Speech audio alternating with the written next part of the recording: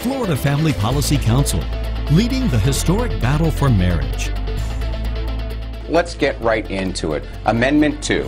Critics say that it would eternalize discrimination in the state constitution and it's driven by homophobia. What's your answer? Yeah, this amendment does one thing and one thing alone. It defines marriage as the union of a man and a woman. We're doing what 27 other states have done, and that is protecting the definition of marriage in the state constitution so that judges don't look to the state constitution to find some reason to strike down the valid marriage laws. Demonstrators also lined the front of the old Capitol building in opposition of Amendment 2 over the weekend. The amendment is on the ballot for the November 4th election and hopes to define marriage and the rights that come with it. We spoke with people for and against the amendment to give you a small look into what people are saying. Um, my partner uh, receives health benefits through my employer. And if this amendment passes, that would become illegal in Florida. But those who support the bill say this is not true. And they're confusing the issue. The Florida Supreme Court has already said that Amendment 2 just speaks to the issue of marriage. If it was also addressing the topic of benefits or any other topic, we wouldn't be standing here today. From WFTV, this is Channel 9 Eyewitness News. One of the most controversial issues on the ballot today has nothing to do with the president. It has to do with marriage and whether it should be defined as one man and one woman in the state's constitution. Channel 9's Barrett Peterson continues tonight's coverage from Orange County. And Barrett, Amendment 2 will need 60% of the vote to pass. Yeah, that's right, Marty. And emotions are running very high on both sides. We're at the corner of Michigan Street and Orange Ave in Orlando. There are lots of sign waving down here and questions about whether younger voters will decide this issue. John Stemberger says it's the most basic family value. Marriage is really a fundamental institution that serves civilization. We don't think about it. It's like the air we breathe. And Stemberger says he's out to protect it define it as one man and one woman, and put it in Florida's Constitution. For the last 18 months, groups called Yes to Marriage with widespread support from churches and Say No To have pushed their side of the issue. There were fancy websites and television commercials. Those opposed to the amendment say it's government intrusion at its worst. But John Stemberger believes turning away from one man and one woman attacks a fundamental human institution. We've got John Stemberger on the line on webcam uh, from uh, what hopefully will be a victory celebration a little bit later on tonight. John, are you there? I'm here. Are you there? there you are. We are. We are here. Can we get a? Can we get a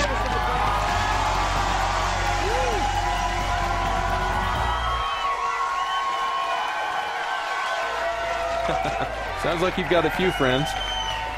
We are, we are broadcasting live from Orlando, Florida, at the First Baptist Church of Central Florida. Senior pastor is Pastor Clayton Clore. He is the Jim Garlow of Florida, as we like to call him. and we are here with about 200 supporters for our victory party, and we are just very thrilled to be here tonight. Oh, John, I can't tell you how proud all of us are here of that result, but regardless of the ultimate result, how uh, how proud we are of all of the work that you've done now over these last four years. It's been a four-year process. I know uh, you and your wife didn't know you would get into this uh, this deeply for this long, but you've been uh, stalwarts at it, and so God bless you. Thanks so much for your work. Well, well, Tom, there's a couple hundred people standing behind me, and these are the people that really did the work. I just kind of pointed the way, and they they did what we asked them to do very faithfully. So we're we're very grateful for them. So once again, you're at 63% without the conservative areas of North Florida. That's very encouraging, and.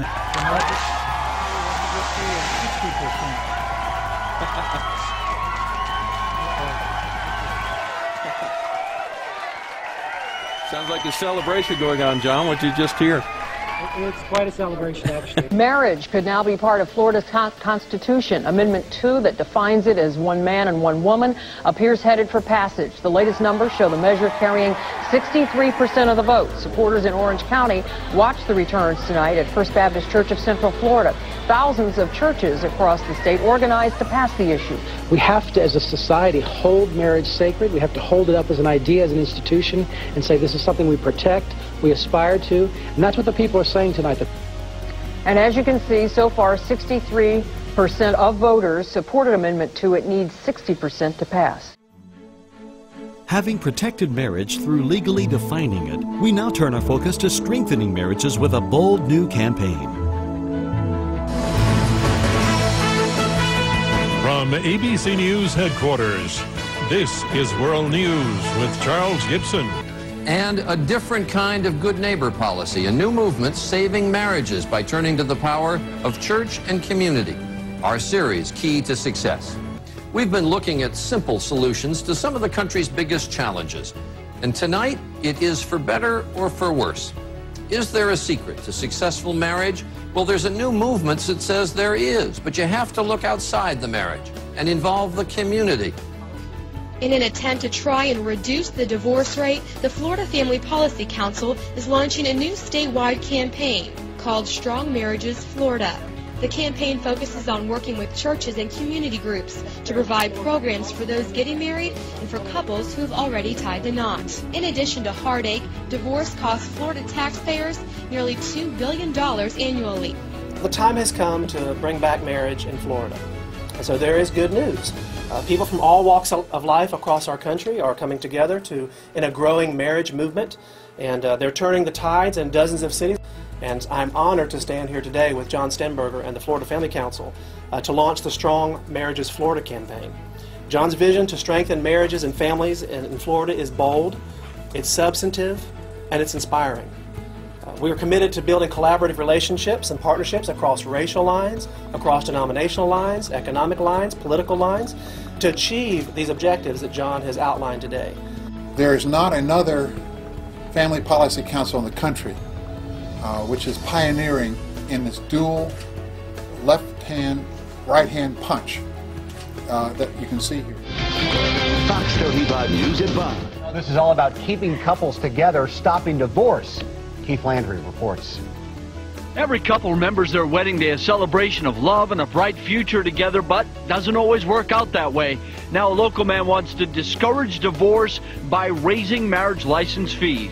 Florida has the highest number of recorded divorces in the country. John Stemberger is president of the Florida Family Policy Council. He says marriage is the foundation of society, and too many people don't prepare before tying the knot. We need to do much more to encourage people to prepare, to lay a foundation, to make sure that they should get married to begin with.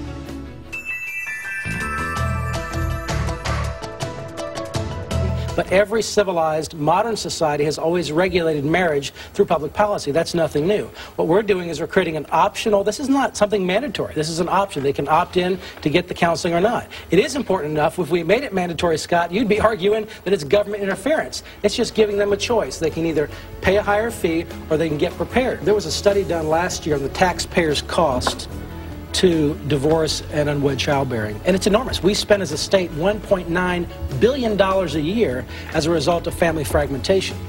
What this bill does is it creates an optional, avoidable, one-time fee uh, that will significantly reduce the taxpayer's burden by creating uh, strengthening families and strengthening marriages.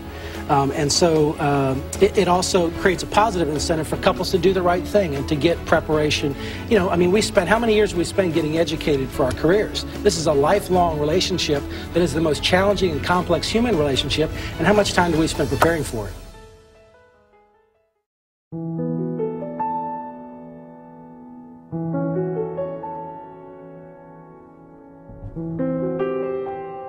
For this reason, a man will leave his father and mother and be united with his wife, and they will become one flesh for God's design. Florida Family Policy Council, defending God's design for marriage.